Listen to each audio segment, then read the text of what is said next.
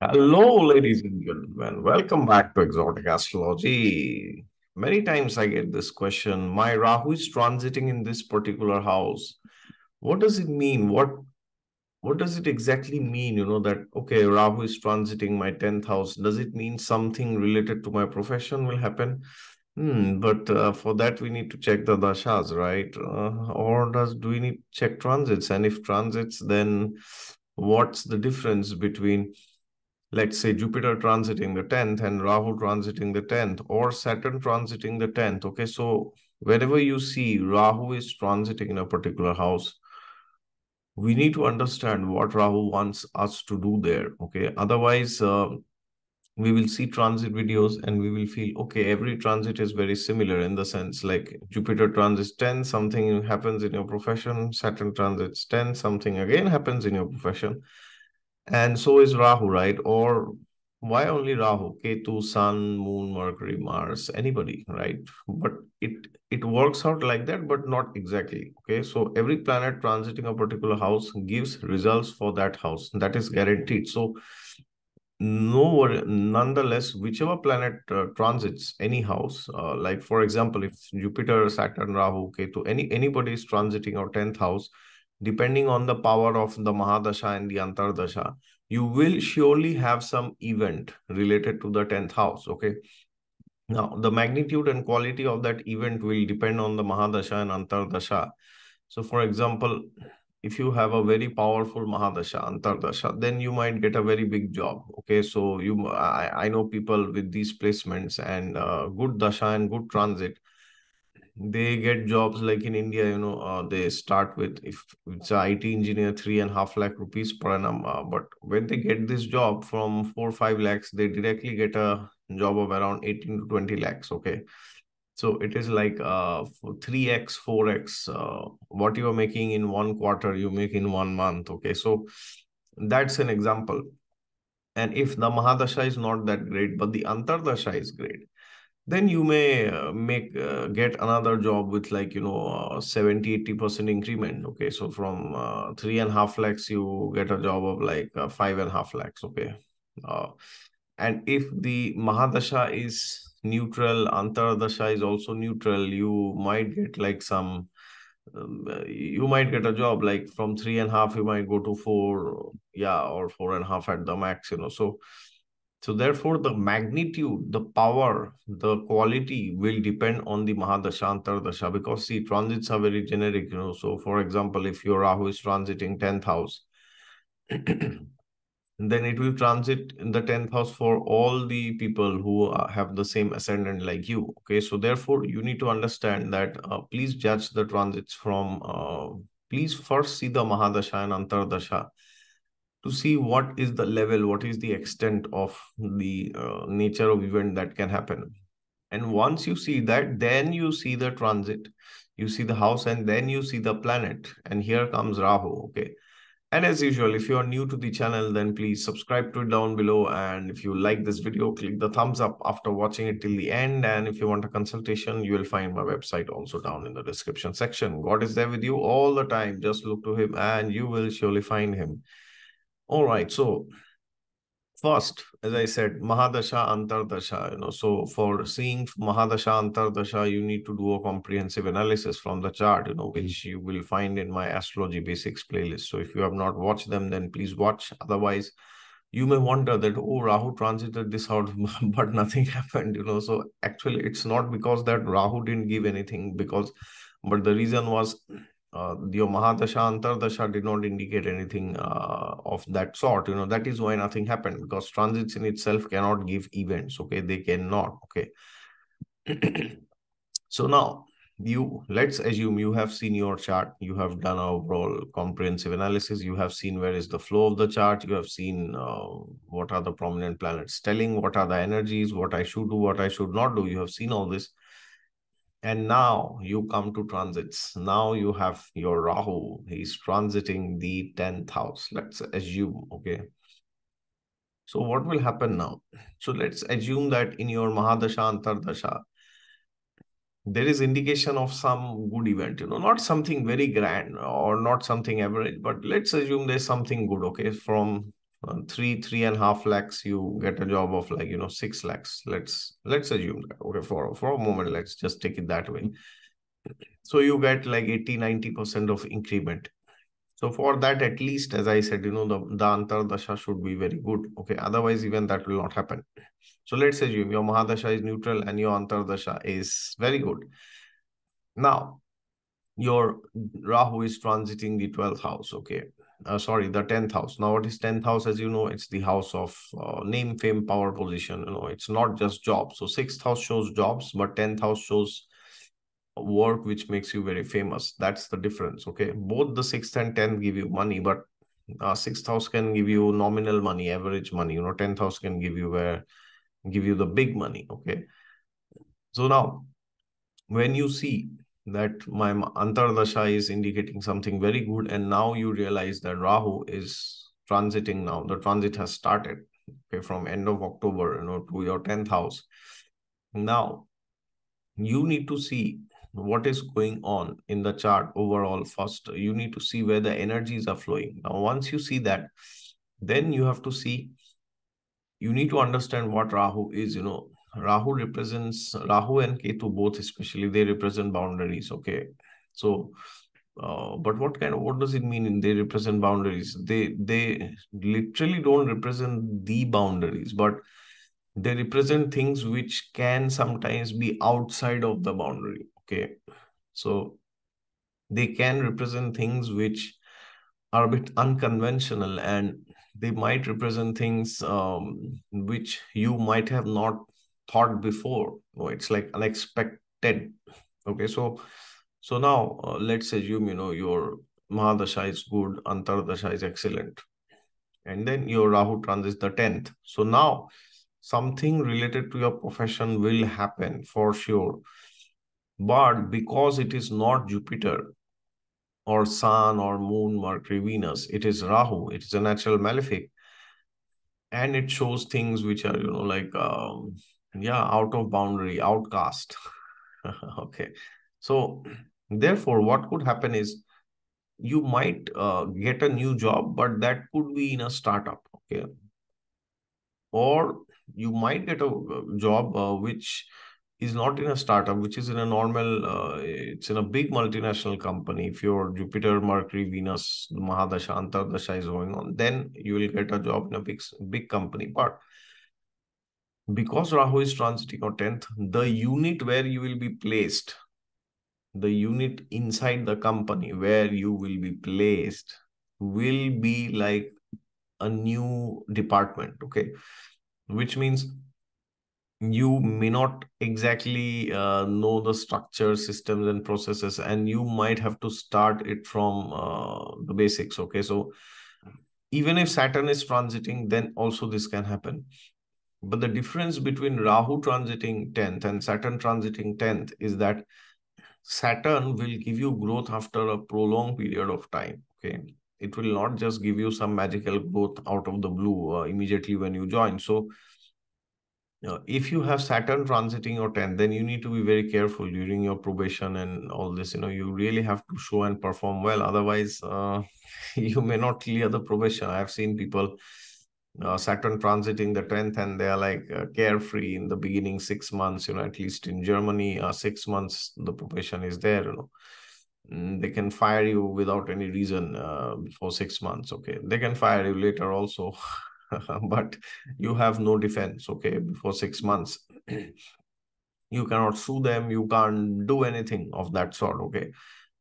So, yeah, so if Saturn is transiting, you need to be very careful because um, your your you might get a notice at your home suddenly and then you log in your system. Oh it's uh, i'm logged out it seems. But if it is rahu uh, it may have a similar flavor like saturn but it could also bring out some other unusual things you know like for example you might be working in some technologies. Now you might be working in technologies that you already know but within that the implementation of that technology will be in such a platform you know which you will uh, you, you may know but you do not literally know which means you may have the theoretical knowledge but you will not have uh, the practice you do not have that practical experience which is required. So now because your dashas are good so you got the job even though you had theoretical knowledge. Maybe you had some knowledge in a similar technology you know for example uh, you are into cloud computing so you learned uh, amazon uh, aws you know the amazon web services and now you come into uh, this company and the job requirement is you know microsoft azure or google cloud platform okay? So uh, this means because you know cloud in general that therefore you might have got the job but now your technology is similar but uh, considerably different you know because the nomenclature for every cloud is different. Uh, although the concepts are the same but the nomenclature is different right?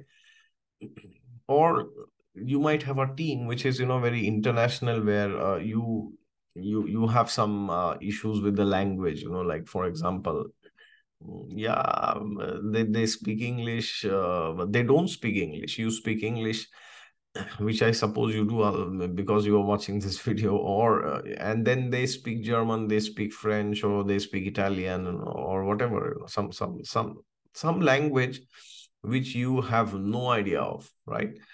Of course, that does not mean that there will be no communication, but you know there are subtleties in a language which is beyond just uh, the understanding. You know, like there are some words there are actions and there are some uh, the, the the tonicity also matters right? Uh, which is completely uh, taken for granted when you speak in a language which you are not very comfortable with right? So so therefore there could be some nuances uh, which are lost uh, in between the lines as they say you know. So that that could be one possibility so similar technology but uh, lack, lacking uh, proper practical implementation then different language. Then there could be a different technology altogether okay which you which the management trusts that you will learn and do but um, it's not how it works these days but could be there. I've seen the possibility okay.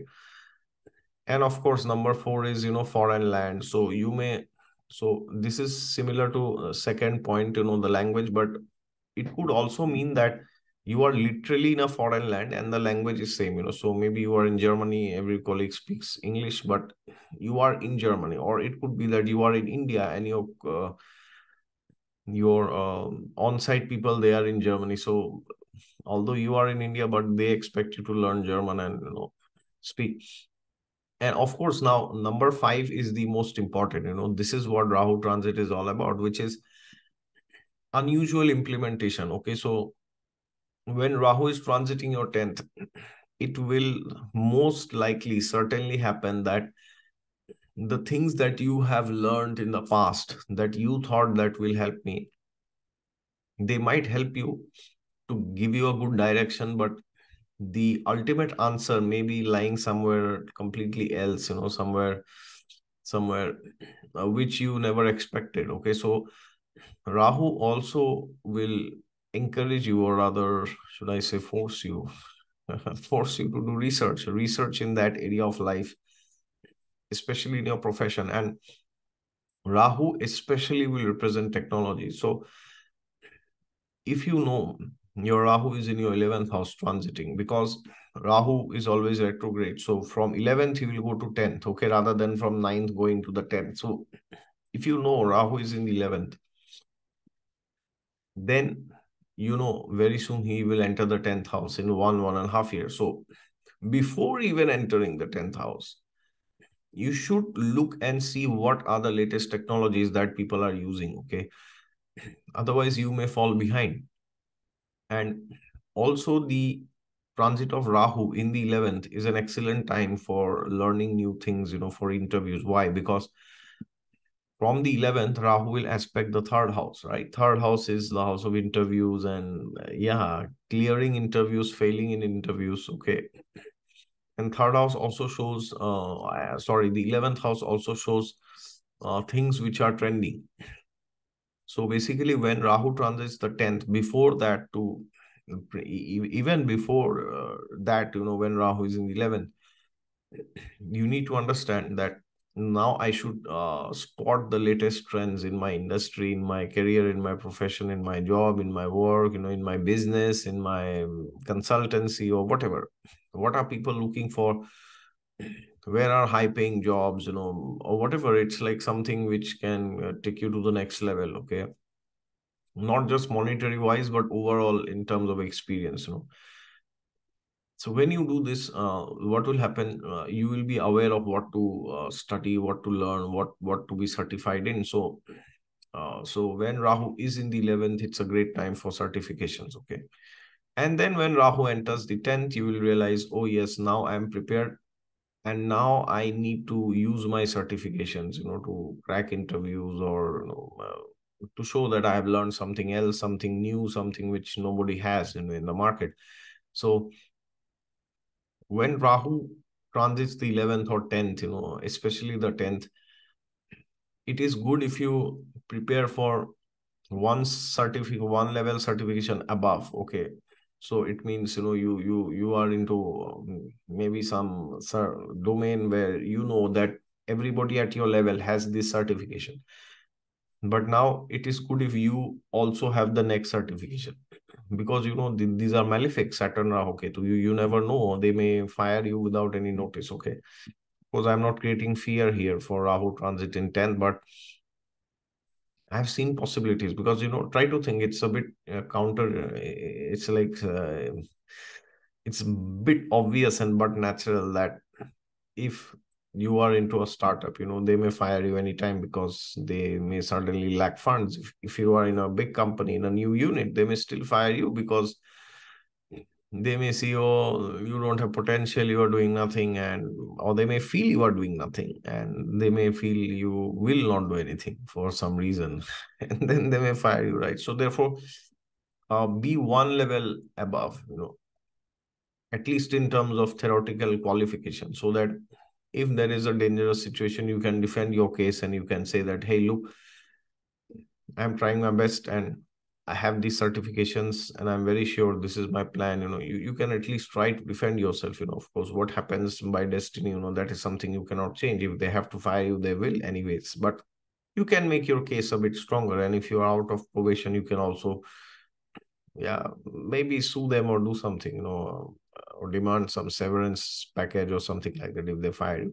But nonetheless, you have to be ready to uh, deal with foreign languages, you know, do something unusual, start from the grassroots, be in the foreign lands, foreign language, you know, and new technologies, similar domain, but different technologies.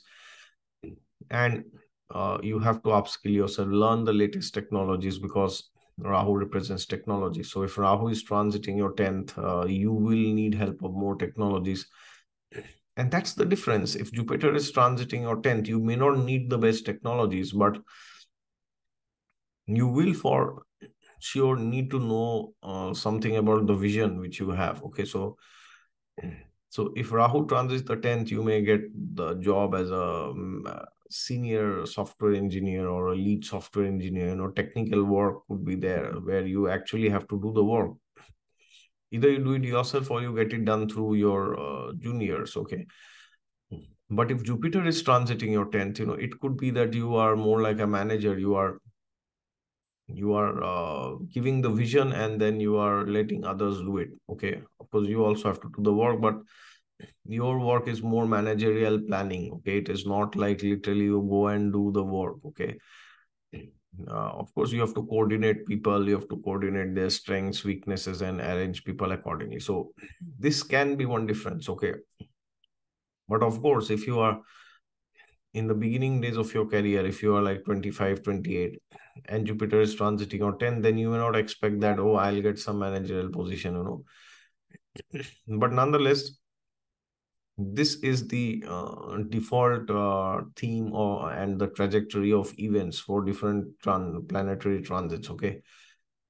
And you can use this for different houses i just took an example for the 10th house because it's uh, easy to explain things for career uh, because the 10th house directly shows your profession okay All right, ladies and gentlemen, if you have any questions, queries, uh, please put it down in the comments. Um, and yes, if you're new, then please subscribe. And if you liked this video, which I'm sure you did, please hit the thumbs up. And if you want a consultation, my website is down below in the description section. God is there with you all the time. Just look to him and you will find him for sure. Thank you.